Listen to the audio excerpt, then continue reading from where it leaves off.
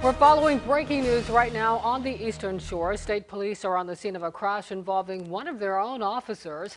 It happened around noon today on Route 13 in Painter. That's in Accomack County. If you're familiar with this area, that's right in front of the old Central Middle School. We're working to see if anyone has been hurt. Keep it here for updates on air and on wavy.com.